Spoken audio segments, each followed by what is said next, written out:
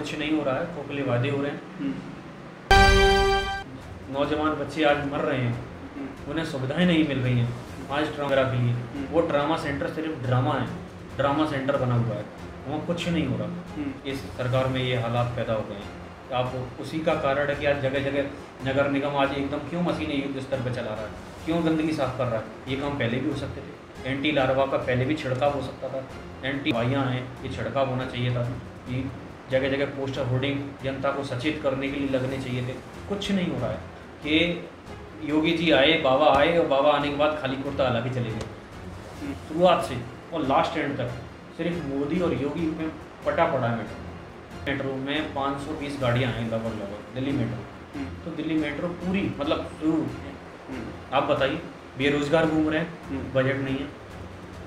गौशाला इन्होंने स्टार्ट कराई उसके लिए बजट नहीं है। गौशालाओं में गायें मर रही हैं।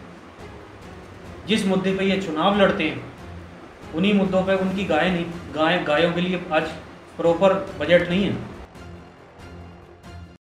नमस्कार के में आपका स्वागत है। आज एक खास मुलाकात प्रगतिशील समाजवादी पार्टी लोहिया वाहिनी से जिलाध्यक्ष इंजीनियर राजकुमार यादव जी के साथ हम ले रहे हैं।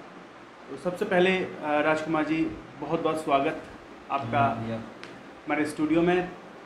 कैसे अ,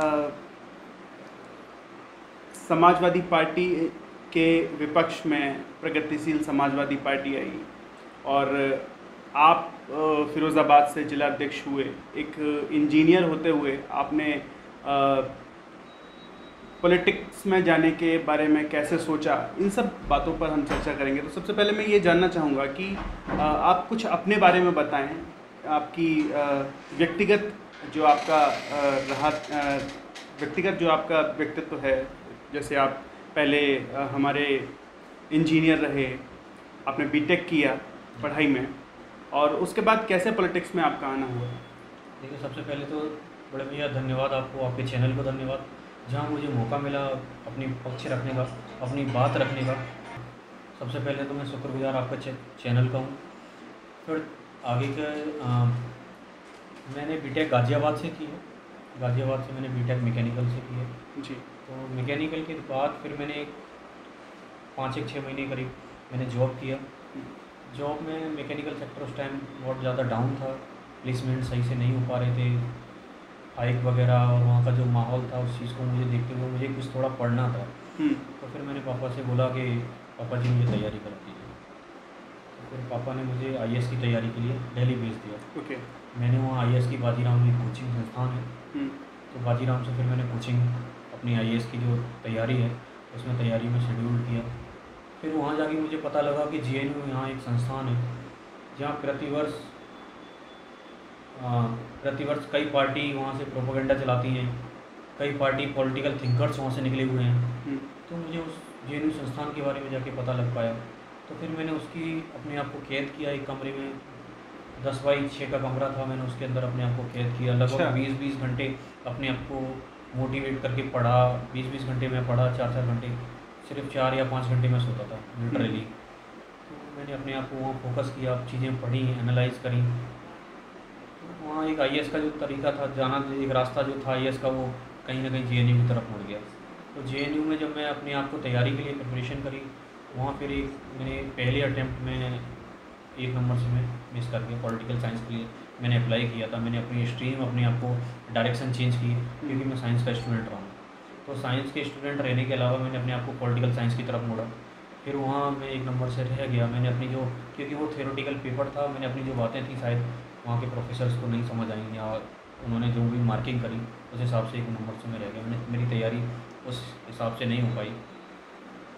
लेकिन लगातार समय समय पर आदरणीय श्री शिवपाल सिंह यादव जी, जो हमारे राजनीतिक गुरु हैं, इनसे मेरी मुलाकात होती रहती थी, बातचीत होती रहती थी। उस दरमियान समाजवादी पार्टी में एक जो हल्ला हुआ था, इन, इनका दोनों का बिखराव हुआ। तो मैं आज आदरणीय राष्ट्रीय अध्यक्ष जी, जो आज प्रगतिशील समाजवादी पार्टी के राष्ट्रीय अध्यक्ष हैं, इनके टच में था।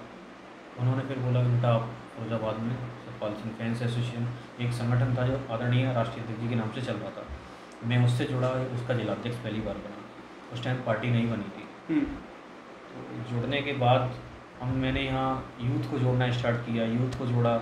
उनका सबसे पहला मैंने कार्यक्रम जो था यूथ में जोड़ने के बाद सबसे पहला जो कार्यक्रम था वो हमारा इनका आदरणीय श्री शिवपाल सिंह यादव जी का बसंत पंचमी वाले दिन। इनका जन्मदिन होता है। तारीख के हिसाब से नहीं मनाते हैं हम अपने राष्ट्रीय अध्यक्ष का जन्मदिन तो इनका जन्मदिन बसंत पंचमी के हिसाब से मनाते हैं। तो बसंत पंचमी वाले दिन जन्मदिन था, साढ़े तीन सौ का करीब यूथ था मेरे घर पर उसका मैंने, उस टाइम पार्टी नहीं बनी थी तो ज़ाहिर सी बात है कि मैंने उस टाइम इन्वाइट आदरणीय जो हमारे आज जिलाध्यक्ष जी यहाँ श्री अजीम भाई उनको इनवाइट किया। वो किसी कारणवश नहीं आ पाए, लेकिन मुझे, हमने एक मीडिया की कवरेज में लेते हुए और एक अच्छा जन्मदिन मनाया, केक केक काटा और अच्छा जन्मदिन मनाया वो एक पहला मेरा पॉलिटिकल प्रोग्राम था। उसके बाद हम लोग लगातार विरोध प्रदर्शन ज्ञापन धरना ये सारी चीज़ें करते रहे बरकरार। फिर आगे चल के फिर आदरणीय राष्ट्रीय अध्यक्ष जी ने इन्होंने एक मोर्चा बनाया। हम्म। आदरणीय नेताजी मुलायम सिंह यादव जी के कहने पर। वो मोर्चा था समाजवादी सेकुलर मोर्चा। तो उस मोर्चे के बनने पर सबसे पहले हमने सुभाष चौराहे पर इक्यावन किलो बूंदी के लड्डू बटवाए। तो एक वो भी एक बड़ा कार्यक्रम था। उस दिन काफ़ी यूथ था। वो बड़ा कार्यक्रम था। फिर उसके बाद पार्टी बनी। पार्टी में यूथ में हम्म। पूरे यूपी भर में सबसे पहला मेरा ये सौभाग्य है कि पार्टी में सबसे पहला जिलाध्यक्ष मैं बना पूरे यूपी यूथ में। वाह। फिर बाद में किया और दूसरे ज़िलों में नियुक्तियाँ हुई वो बाद में हुई थी क्योंकि पार्टी को विस्तारित करना था। तो सबसे पहला यूथ में पार्टी ने ये श्रेय मुझे जाता है कि मुझे यूथ में मौका मिला। और आदरणीय अजीम भाई के नेतृत्व में मुझे मौका मिला काम करने का काम सीखने का क्योंकि राजनीतिक तौर पर मैं एक्टिव व्यक्ति नहीं था क्योंकि एक पढ़ाई के क्षेत्र से मैं राजनीति में आया था। हम्म। और राजनीति में आने का एक मकसद ये था कि गरीब जनता जो ग्राउंड तक पहुँचने का मकसद था मेरा कि ग्राउंड तक पहुँचे आज हम पहुँच भी रहे हैं। एक अपनी पॉलिटिकल जो विचारधारा है समाजवाद की जो विचारधारा है प्रत्येक वर्ग और प्रत्येक व्यक्ति विशेष से मिलना है और उनका काम जितना हम लोग कर सकते हैं कर कर पा रहे हैं उतना करेंगे। कोशिश करेंगे नहीं तो पूरे कोशिश तो करते ही हैं। खुद नहीं कर पाते तो राष्ट्रीय अध्यक्ष जी से सलाह लेते हैं, मशवरा लेते हैं और हमारे पार्टी के कई लीडर्स हैं यहाँ फैजाबाद में। आदरणीय सरसागंज के विधायक विधायक जी, श्री हरिओम यादव जी हैं, छोटू भैया हैं, जो युवाओं में तरक्की देखते रहते हैं, अजीम भाई हैं और भी तमाम सारे प्रस्पा में नेता हैं, जिनसे समय समय पर हमें दिशा निर्देश मिलते रहते हैं। पिछले दिनों अजीम भाई के बारे में आपने बात किया तो वो जेल में थे। तो उस समय फिर पार्टी को या फिरोज़ाबाद को कैसे आपने संभाला और क्या कुछ अपने काम उनकी अनुपस्थिति में ऐसे किए जो आपको लगता है कि उनको करने चाहिए थे और वो कमान आपने संभाली हो देखिए, आदरणीय अजीत भाई, जब जेल में गए, जेल जाने के बाद, पार्टी एक फॉर्मेट में नहीं थी। क्योंकि हमारा एक कप्तान जो ज़िले का कप्तान था जो हमें दिशा निर्देश देता था हम्म। जो जहाज़ एक, एक जहाज़ कप्तान एक जहाज़ चलाता है उसको डायरेक्शन देता है कि हमें दुबई जाना है या अमेरिका जाना है। वो कॉन्सेप्ट खत्म हो चुका था हम्म। पार्टी के अंदर। और पार्टी ने उस पीरियड के दरमियान जब अजीम भाई बीस महीने जेल में रहे तो पार्टी ने कोई यहाँ कार्यवाहक जिलाध्यक्ष नियुक्त नहीं किए। अच्छा। तो पार्टी के उस दरमियान आदेश आए तो पार्टी के सभी लोगों ने मिलकर पार्टी की सभी पदाधिकारियों ने मिलकर चाहे वो टोंडला के पदाधिकारी हों, चाहे सिरसागंज के पदाधिकारी हों, चाहे दसराना के पदाधिकारी हों, चाहे सुखाबाद या फिरोजाबाद के पदाधिकारी हों, सभी लोगों ने मिल उस कार्यक्रम को सही ढंग से, जैसे जिस तरीके से हाईकमान से हमें दिशा निर्देश थे, उस हिसाब से हम लोगों ने किए। लेकिन उसका सही नेतृत्व जो होना चाहिए था, अजीम भाई के नेतृत्व में हमें मिल रहा था, उस तरीके से तो नहीं हो पाए, लेकिन किए हम लोगों ने, कार्यक्रम करते रहे लगातार। जनता के दुख दर्द हम लोग बांटते रहे। तो अब अजीम भाई वापस आ गए हैं जेल से। ये हमारे तो, लिए खुशी का विषय है। अब अब आगे की आ, क्या रणनीतियाँ हैं? किस तरीके से आप ज़िले में काम करेंगे? देखिए अजीम भाई एक सीनियर लीडर हैं। करीब तीस पैंतीस साल पुरानी राजनीति है। हम्म। और वो लीडर हैं जिन्होंने ज़मीन से उठ के मैंने उन्हें शायद सुना है तो एक बार बता रहे थे मुझे कि मैं जिला सचिव हुआ करता था महानगर महासचिव भी महानगर सचिव भी रहा फिर महानगर अध्यक्ष बने। फिर मेन बॉडी तो ये तो काफ़ी उनकी एक राजनीतिक यात्रा है।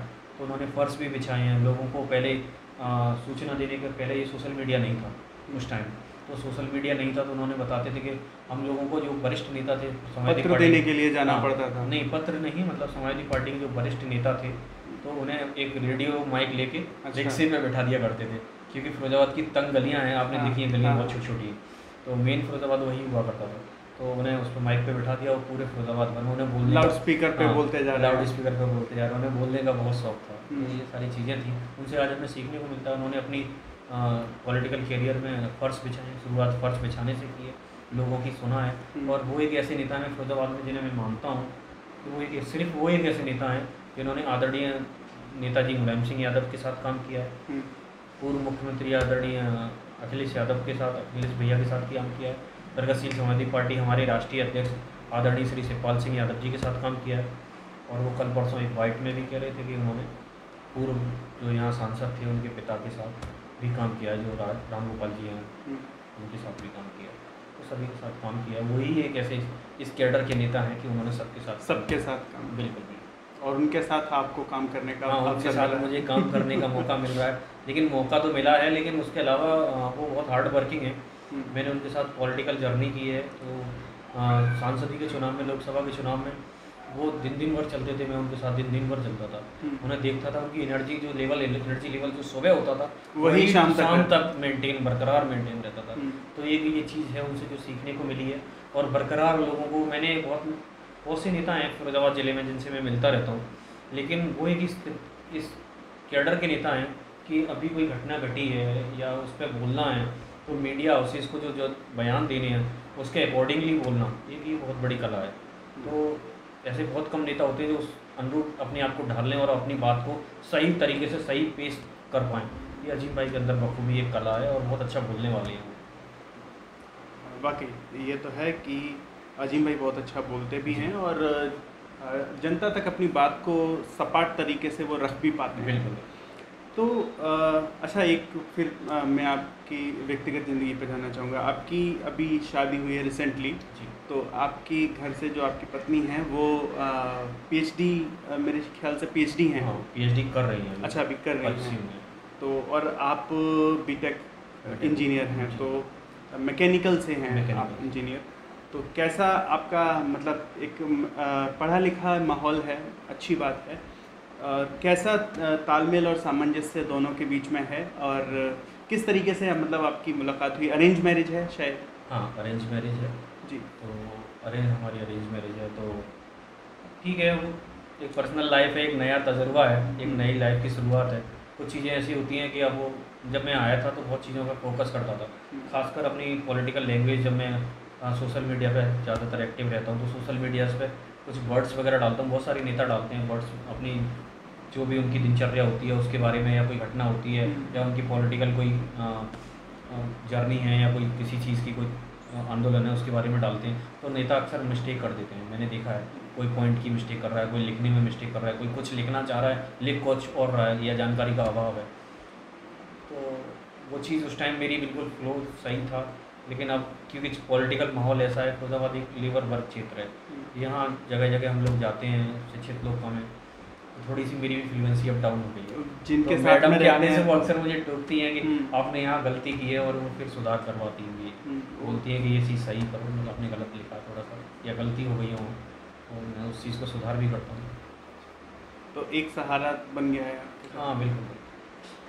अच्छा तो वो आप पॉलिटिक्स में हैं वो प्रोफेसर बनने जा रही हैं तो क्या वो भी पॉलिटिक्स में कभी आ, आप उनको लेकर आएँगे या फिर उनको प्रोफेसर तक ही सीमित रखेंगे? देखिए तो अभी समय है थोड़ा सा आगे अभी और देखेंगे अभी फ़िलहाल तो मैं ही हूँ आगे पॉलिटिकल मेरी जर्नी जारी है। आपके घर से कोई और पॉलिटिक्स में है रहा है कभी? पिताजी थे मतलब हमारे पर बाबा वो जिला पंचायत सदस्य रहे। और उसके बाद दादाजी मेरे प्रधान रहे हैं गाँव के अच्छा। और चाचू हमारे समाजवादी समाजवादी पार्टी के जिला कोषाध्यक्ष रहे हैं। अच्छा। और मैं प्रगतिशील समाजवादी पार्टी के जिला अध्यक्ष हूँ। बहुत बढ़िया। मतलब पूरा परिवार ही एक तरह से देखा जाए तो समाज की सेवा में लगा हुआ है। अभी थोड़े दिनों पहले आपने एक कैंपेन चलाया था गाँव गाँव पाँव पाँव संदेश। तो क्या संदेश उसमें आपने जनता को दिया और क्या आपको उसका फीडबैक मिला? राष्ट्रीय अध्यक्ष जी, आदरणीय श्री शिवपाल जी का आदेश था। प्रत्येक ज़िले में गाँव गाँव पाँव पाँव एक संदेश यात्रा निकाली गई। हम लोग जो पार्टी के लोग हैं, पार्टी वर्कर हैं, प्रत्येक ज़िले में, चाहे वो जिलाध्यक्ष हों, चाहे विधानसभा अध्यक्ष हों या किसी और कमेटी, कोर कमेटी से हों, सभी लोगों ने मिलकर प्रत्येक ज़िले में, प्रत्येक विधानसभा में अलग अलग गाँव गाँव जाने की कोशिश करी। सरकार की विफलताओं के बारे में बताया, बढ़ती महँगाई के बारे में बताया, बेरोजगारी के बारे में बताया और अपनी सपा की सरकार के, जो हमारी पूर्व समाजवादी सरकार थी, उस सरकार की नीतियों के बारे में बताया, जो आदरणीय मंत्री जी के ज़रिए, आदरणीय श्री शिवपाल सिंह यादव जी ने जो काम किए थे, उन काम को जनता तक हमने पहुँचाने का काम किया और उस दरमियान कुछ हमने कार्यकारिणी में विस्तार भी किया, जो लोग हमसे जुड़ सकते थे, हमने उन्हें जोड़ने का प्रयास किया। निकट भविष्य में बहुत जल्दी ही अभी चुनाव आ रहे हैं विधानसभा के। जी। तो उसमें क्या आप प्रगतिशील समाजवादी पार्टी की भूमिका देखते हैं? और क्या आपका आपकी पार्टी का एजेंडा या मैनिफेस्टो है आ, आगे की क्या रणनीति है? उसको लेकर थोड़ा सा विचार। देखिए पार्टी का मैनिफेस्टो जो है मैनिफेस्टो अभी आना बाकी है। जी। मैनिफेस्टो देखिए मैं आपको एक बात चुनाव के नज़दीक ही आता है। हम्म। अभी चुनाव में एक लंबा वक्त है। करीब छः महीने से सात महीने का करीब वक्त है। हम्म। तो पार्टी का मैनिफेस्टो हमारी राष्ट्रीय कार्यकारिणी और राष्ट्रीय अध्यक्ष जी के सहमति से और जो ग्राउंड पे ग्राउंड वर्क ग्राउंड वर्क कर रहे हैं पॉलिटिकल वर्कर उन लोगों के जो भी आइडियाज़ होंगे अच्छे आइडियाज़ जहाँ जनता प्रभावित हो सकती है जहाँ जनता को के समाधान हो सकते हैं समस्याओं के समाधान हो सकते हैं वो ज़रूर उसमें शामिल किए जाएँगे फिर उसके बाद जो भी आएगा वो समय के साथ आपको पता लग जाएगा। फिर भी कोई एक ऐसी चीज़ हो कि आपको लग रहा है कि अभी जो पार्टी है उसमें कुछ खामियाँ या कुछ कमियाँ आप देख रहे हों जो आप चाहते हैं कि ये यदि हमारी सरकार बनती है तो इसमें बदलाव निश्चित तौर पे होने चाहिए। आदरणीय मंत्री जी ने श्री शिवपाल सिंह यादव जी ने साफ़ कहा है अगर हम सरकार में आते हैं तो प्रत्येक परिवार को कोशिश ये करेंगे कि प्रत्येक परिवार के एक लड़के को एक लड़की को रोज़गार दिया जाए या फिर रोज रोज़गार दिया जाएगा और उनको कुछ लोगों को ट्रेंड किया जाएगा हम्म। जो अपना खुद का अपना सेटअप लगा सकें और कुछ लोगों को जॉब दी एक लड़का एक लड़की से मुझे याद आया कि अभी रिसेंटली योगी सरकार ने एक बहुत बड़ा नियम लागू कर दिया है कि परिवार में दो ही बच्चे आपको करने हैं।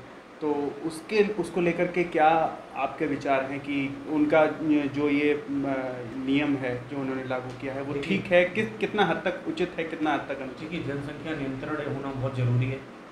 जनसंख्या विस्फोट जो हुआ है उससे महँगाई भी बढ़ी है हम ये मानते हैं।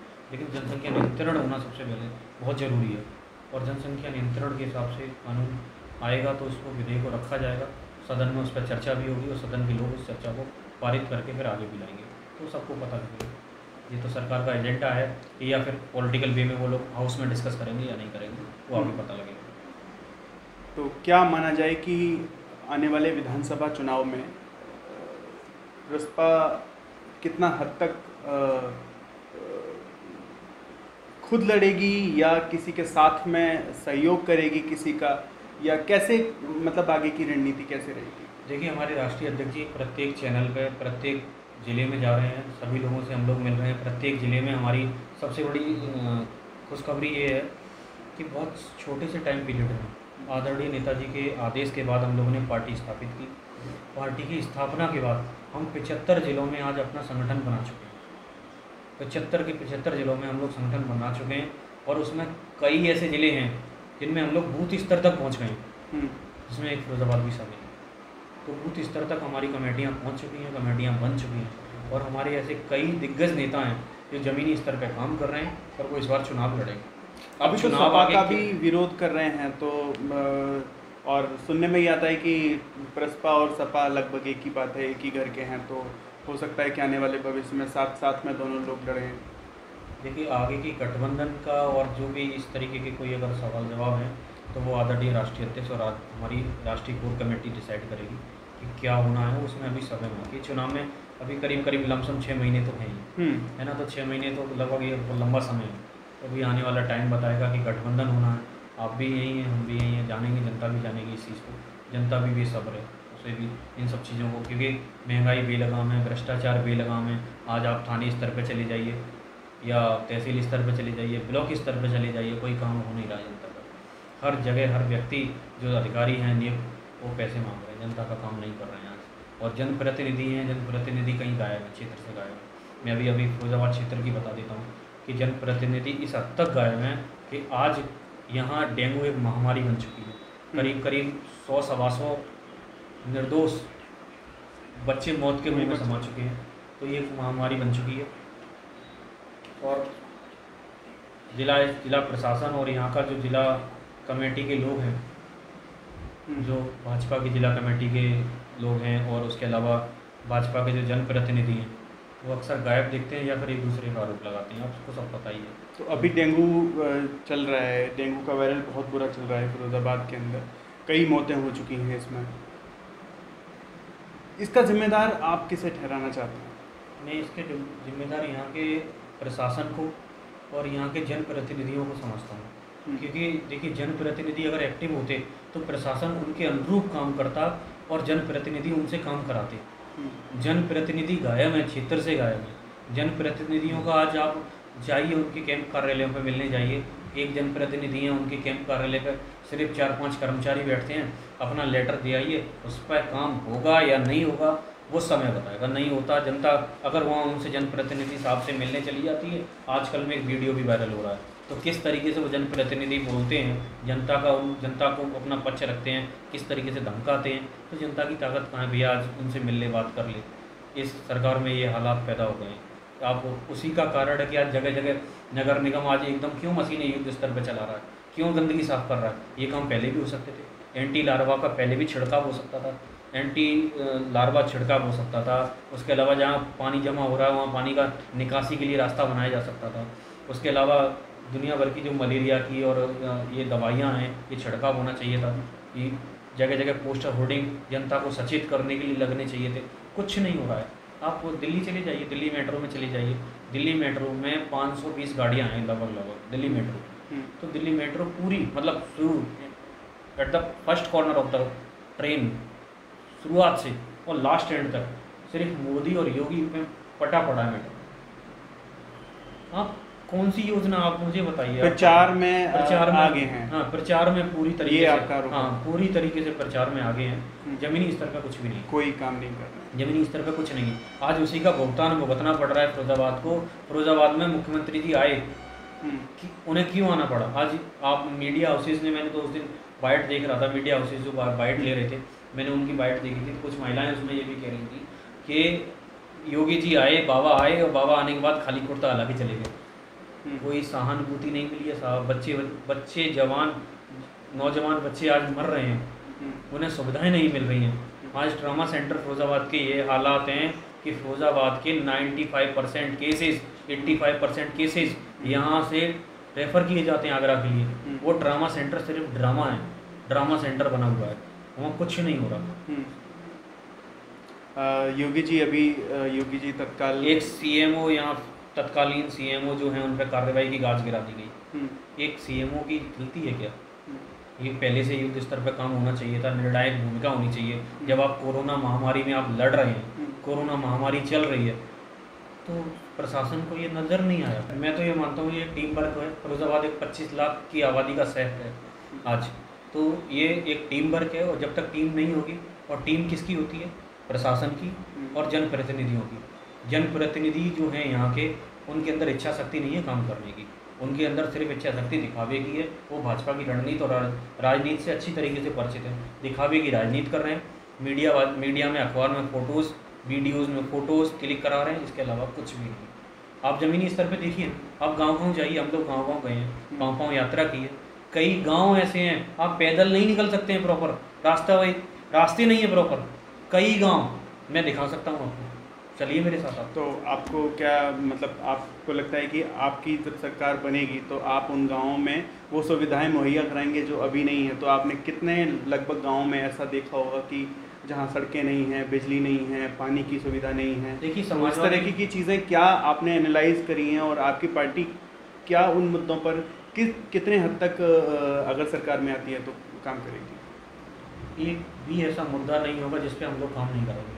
ए टू जेड हम सारे ये मुद्दों ये ये तो अभी पब्लिक जो के जितने भी मुद्दे होंगे हम्म। आज मुद्दे तो हैं हम्म, पब्लिक के पास लेकिन उन मुद्दों के लिए बजट नहीं है। हम्म, आप बताइए बेरोजगार घूम रहे हैं हम्म, बजट नहीं है। गौशाला इन्होंने स्टार्ट कराई उसके लिए बजट नहीं है। गौशालाओं में गायें मर रही हैं। जिस मुद्दे पे ये चुनाव लड़ते हैं उन्हीं मुद्दों पे उनकी गायें नहीं गाय गायों के लिए आज प्रॉपर बजट नहीं है। आप मुझे बताइए छब्बीस रुपये में कोई गाय पेट पेट भर सकती है क्या? आप बताइए ना मुझे। और गायें जो आप गौशाला से रिकॉर्ड उठा लीजिए मैं आपसे आपसे पूछता हूँ। आप गौशाला से रिकॉर्ड उठा लीजिए। हम्म, गौशाला से आप रिकॉर्ड उठा लीजिए कि साल भर में उन्होंने कितनी गायों को यहाँ लेके आए और कितनी मौतें हुई। हम्म। दीजिए ना आंकड़ा आपको पता लगेगा कि हकीकत क्या है। तो गौशाला में भी कोरोना- पालन नहीं हो पा रहा है नहीं हो पा रहा है। कोरोना में आपने देखा यहाँ ऑक्सीजन की कमी थी। हम्म। ये चीज़ लेकिन सरकार तो नहीं मानती ना इस चीज़ को। सरकार नहीं। कहती है कि ऑक्सीजन की कमी थी सरकार अच्छा कमी नहीं थी तो फिर क्यों यहाँ ऑक्सीजन का प्लांट लगाना पड़ा? सरकार ने तो नहीं कहा कि ऑक्सीजन की कमी थी नहीं तो फिर क्यों प्लांट लगाना पड़ा? आप पहले लॉकडाउन लगा उसमें सतर्क नहीं हुए। दूसरा लॉकडाउन लगा उसमें सतर्क नहीं हुए। अब तीसरे लॉकडाउन में आपको अर्जेंट प्लांट क्यों लगाना पड़ा? फीता काटने की वाहवाही लूट रहे हैं। हम्म, सिर्फ़ फीता काटने की वाहवाही। पूरी वाहवाही कर रहे हैं बस। जनता सब समझदार है जनता आज पढ़ी लिखी है सोशल मीडिया से जुड़ी हुई है प्रत्येक प्रत्येक व्यक्ति हम्म। आज देख रहा है। तो सरकार खोखले वादे कर रही है ऐसा सीधा सीधा आपका आरोप है काम कुछ भी नहीं कर रही है। कुछ नहीं हो रहा है खोखले वादे हो रहे हैं। हम्म। अच्छा आपकी अ, सरकार अगर आती है तो ऐसी कौन सी एक मतलब मुझे दो या तीन ऐसी मुख्य बातें बताइए जिन पर आप काम करेंगे? देखिए हमारा मैं आज यूथ में हूँ यूथ यूथ के तौर पर सबसे बड़ा फोकस हमारा यूथ के साथ ही होगा। हमारी सरकार का सबसे पहला प्रयास इन्हें बेरोजगार साथियों को रोज़गार और जब तक उनका रोज़गार स्थापित नहीं हो पा रहा है तब तक उन रोज़गार परक ऐसी योजनाएँ चलाई जाएँ कि कुछ रोज़गार वहाँ से स्थापित हों उन्हें शिक्षा दी जाए ट्रेंड किया जाए और फिर भी अगर उसमें टाइम लग रहा है तो समाजवादी लोग पहले योजना चलाते थे उस योजना बेरोज बेरोजगार भत्ता मिलता था बेरोजगारी का भत्ता मिलता था। हम्म, आज एक बच्चे का फॉर्म एक हज़ार रुपये का फॉर्म भरा जा रहा है। हम्म, और पर्चे बरकरार आउट हो रहे हैं। हम्म, बच्चे कहाँ से लेके आए? कोरोना में माँ बाप इतनी इनकम कहाँ से लेके आए? पहले तो पेपर ही नहीं हो पा रहे भर्ती ही नहीं ले पा रहे। अगर हो रही हैं तो पेपर आउट हो रहे हैं। आज युवा कितना परेशान है कहाँ जा रही युवा? तो उस युवा को पूछिए जो घर में कैद है पढ़ रहा है सुबह शाम ताने सुन रहा है क्या करेंगे वो? इलाके और क्षेत्र के नेता हैं। और बड़े नेता हैं। प्रत्येक व्यक्ति से मिलते हैं। मैं भी जाता हूँ उनसे मिलने। महीने में शायद मेरी बार उनसे दो बार या तीन बार मुलाकात हो जाती है। तो जो मेरे पास मुद्दे होते हैं, मैं उन तक मुद्दों तक पहुँच, पहुँचाता हूँ। कुछ गरीब मेरे से होते हैं, मेरे साथ जो कुछ गरीब होते हैं, उनकी समस्याएँ लेके जाता हूँ।